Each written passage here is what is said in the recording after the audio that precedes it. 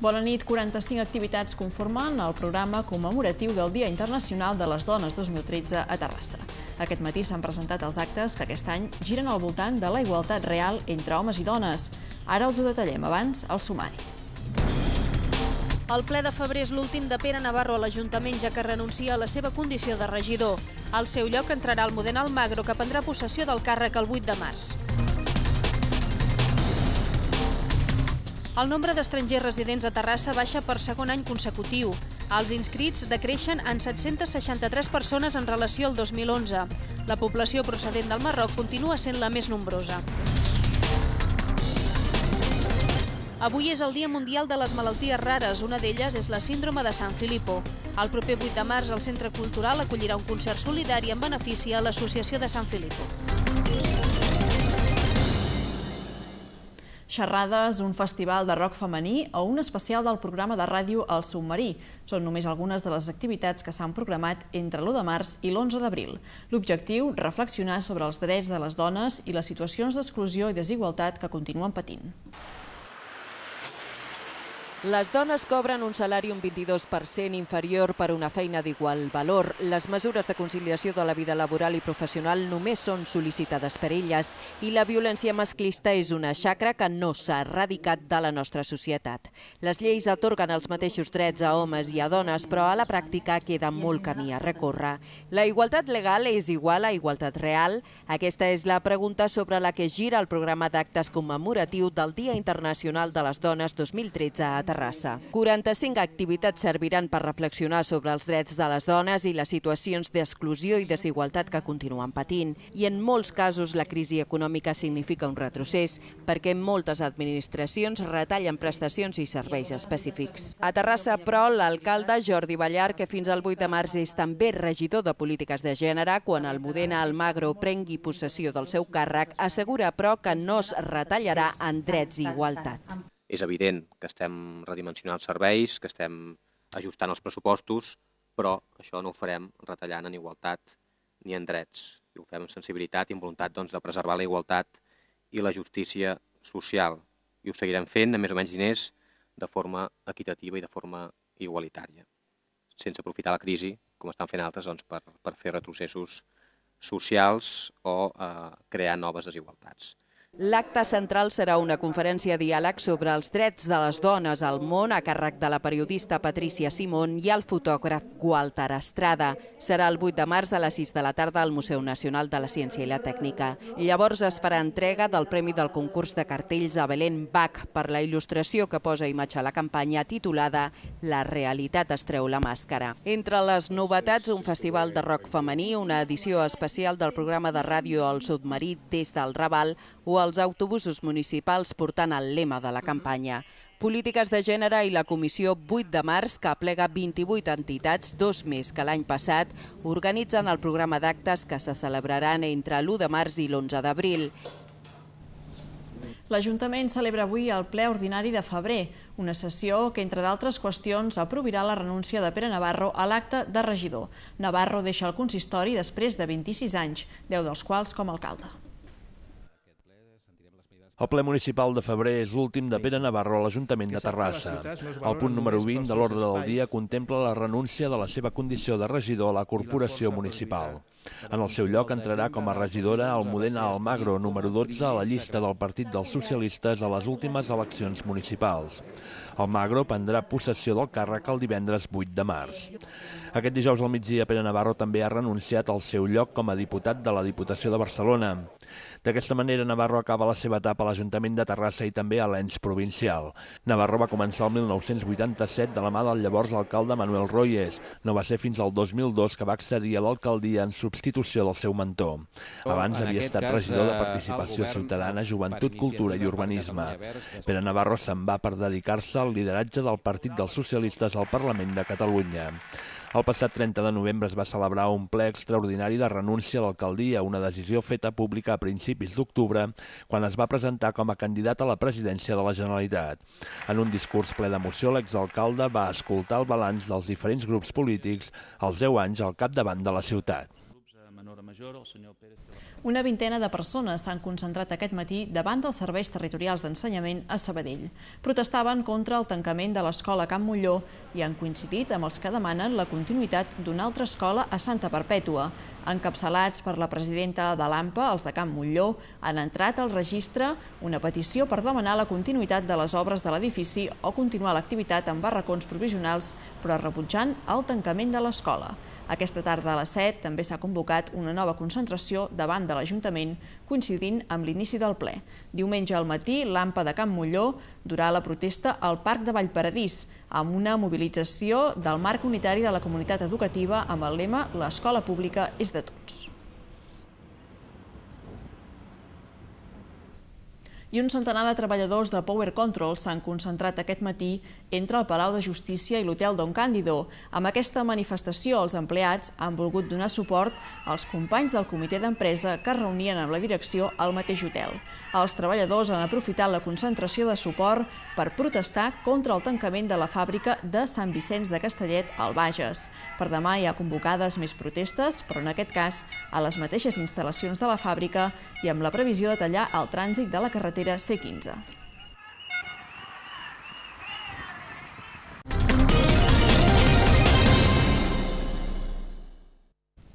La crisi econòmica està fent que molts immigrants tornin al seu país d'origen. Segons dades de l'Institut d'Estadística de Catalunya, l'any passat va tornar a baixar el nombre d'estrangers residents a Terrassa. La població immigrant més nombrosa continua sent la marroquina, seguida de l'equatoriana. El 2012 es va tornar a reduir lleugerament per segon any consecutiu el nombre d'estrangers residents a Terrassa. La població immigrant resident a la nostra ciutat era de 30.592, la qual cosa representava el 14% del total d'habitants.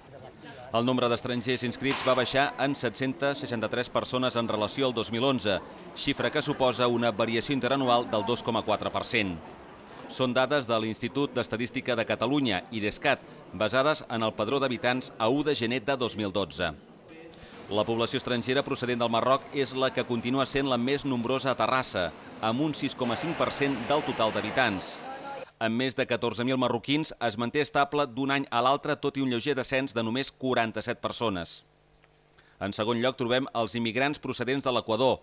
En aquest cas sí que s'ha produït una davallada important de fins al 21%, prop de 600 equatorians residents a Terrassa van abandonar la ciutat.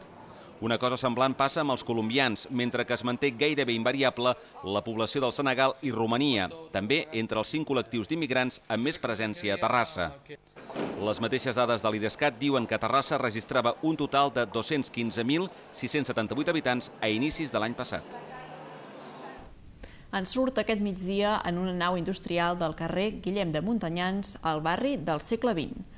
Un camió que sortia d'una empresa del polígon ha perdut el control del vehicle i s'ha encastat contra la nau del davant. Per sort no hi ha hagut ferits. Fins al lloc dels fets s'hi han desplaçat quatre dotacions dels bombers de la Generalitat que han col·locat tres puntals de la façana de l'edifici sinistrat.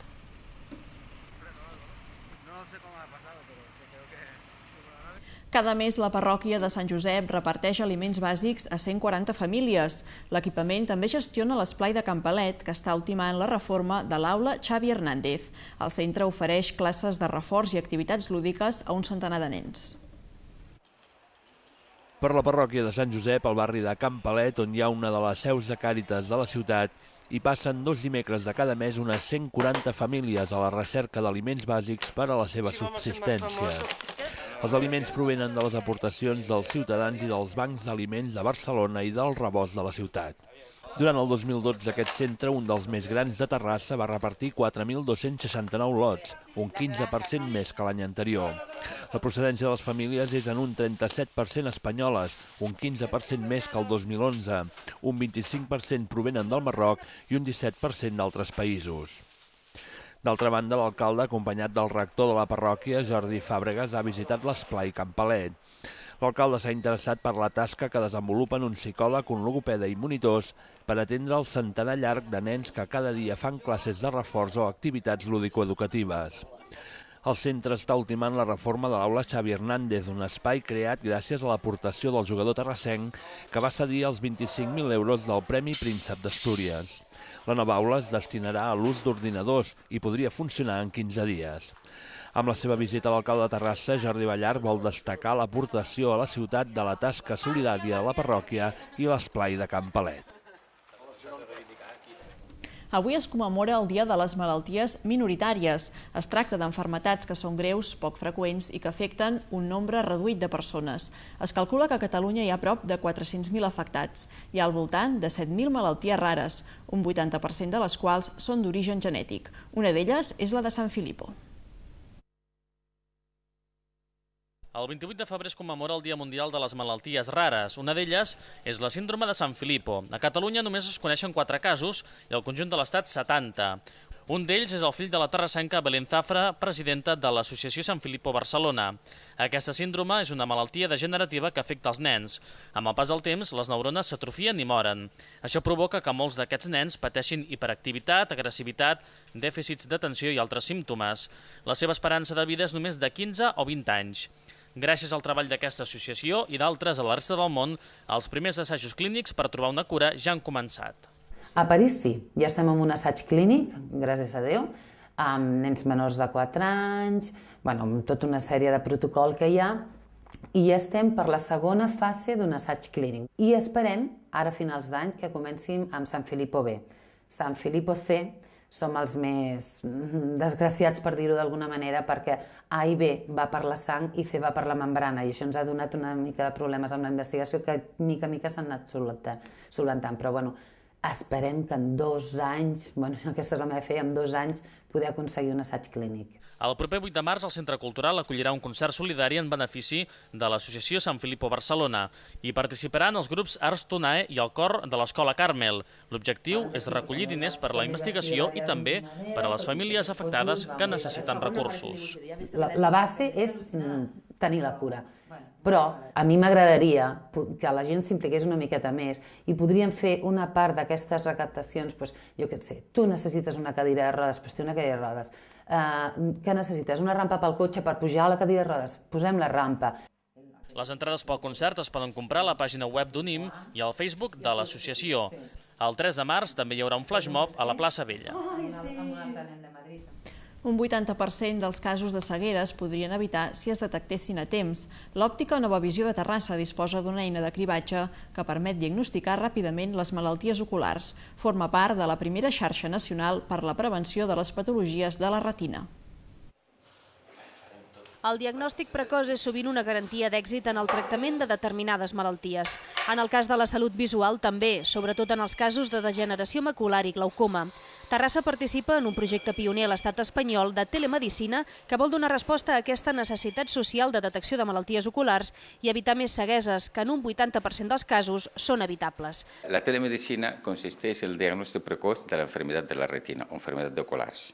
Amb una sembla de fotografia de la retina, el que podem de, diagnosticar una enfermedad, com la degeneració macular de la, de la retina, de la màcula, o la degeneració o la glaucoma, per exemple, la pressió intraocular, o també com la diabetis. L'òptica Nova Visió és l'única de la ciutat que disposa d'aquesta eina de cribatge. Forma part de la primera xarxa nacional d'òptics optometristes per la prevenció de les patologies de la retina, anomenada Opterretina. Creada a Barcelona, la formen 50 òptics i un grup de retinòlegs experts. Des que hem eh, obert nosaltres la telemedicina aquí, hem associat amb això, aproximadament fa dos mesos i mig, m'he trobat amb 40 casos sense saber la gent que tenen degeneració macular i tenim que córrer a, a tractar-lo a través del seu oftalmòleg. El servei s'ofereix com a complement de la sanitat pública, on el procés pot durar molt de temps que en determinats casos els pacients no poden perdre. D'aquesta manera, la telemedicina fa una avaluació diagnòstica de la retina en un màxim de 48 hores. Els professionals recomanen revisions periòdiques de la visió a partir dels 45 anys i en les persones diabètiques des que es detecta el problema. 21 tones de material d'alberg i aixopluc han sortit aquest dijous al matí des del magatzem d'acció humanitària de la Creu Roja Catalunya, situat a la comarca de la Noia, cap a Síria. Amb aquest enviament es vol donar suport a 5.000 de les persones afectades pel conflicte que assola el país. S'enviaran 1.000 kits familiars d'higiene, 1.000 kits familiars de cuina i 2.000 tendals de plàstic. Aquest enviament d'ajuda humanitària està valorat en 70.000 euros, dels quals 30.000 els finança l'Ajuntament de Barcelona, 28.000 l'Ajuntament de Tarragona i 12.000 l'Ajuntament de Terrassa. Amb aquest enviament es respon a la crida efectuada per la Federació Internacional de la Creu Roja i la Mitja Lluna Roja siriana per proporcionar assistència humanitària a 200.000 persones afectades pel conflicte de Síria abans de juliol d'aquest any.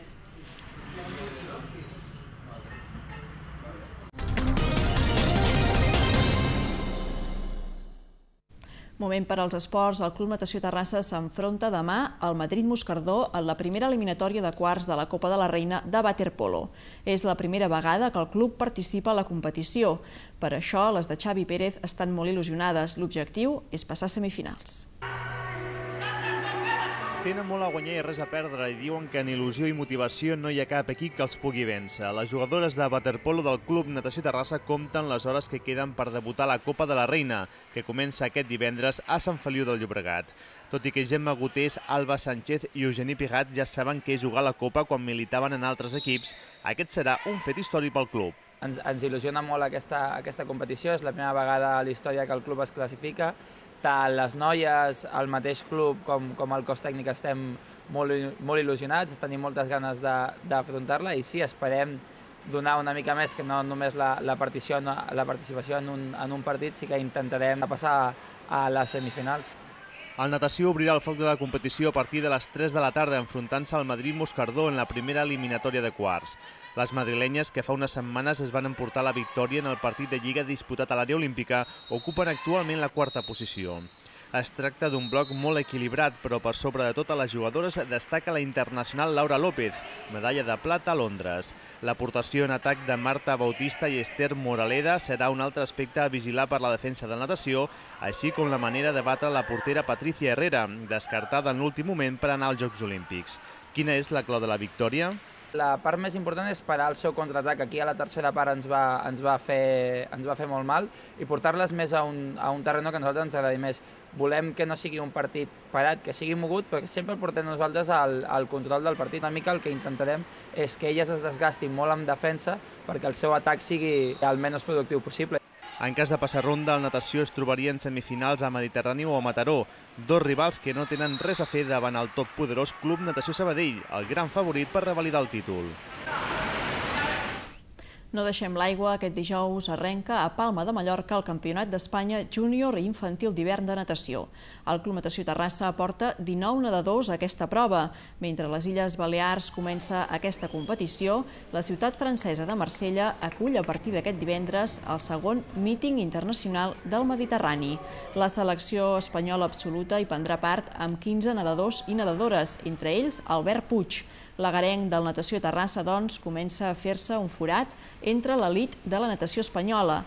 En aquest míting participaran les principals figures nacionals com ara Rafa Muñoz, Aswin Beldeboer, Mireia Belmonte o Melanie Costa, entre d'altres. Carla Campo, Elisabet Arpal i Carles Faro prendran part també en aquesta cita internacional, però representant el Club Natació Terrassa. I acabem amb un apunt d'Uca i herba, i és que la jornada d'avui a la World League femenina, que s'està disputant a València, s'ha suspès per les fortes pluges. Així doncs, el partit entre Espanya i Itàlia es jugarà demà a les 12 del migdia.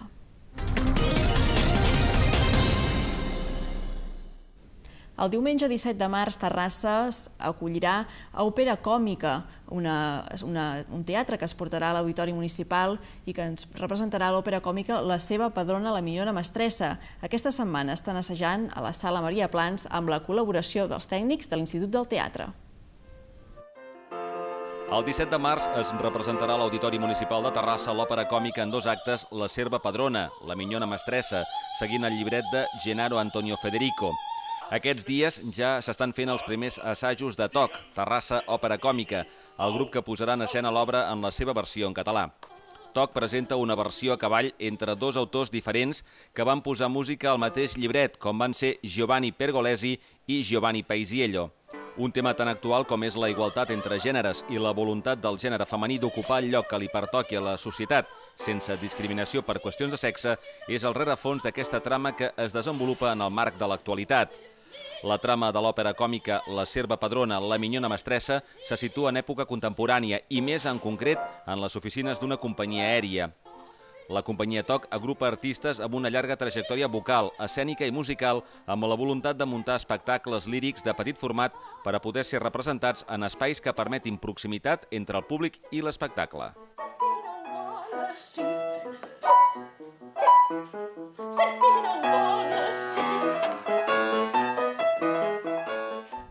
Canal Terrassa Vallès estrena aquest vespre Vallès, un nou programa d'entrevistes als alcaldes i alcaldesses de la comarca.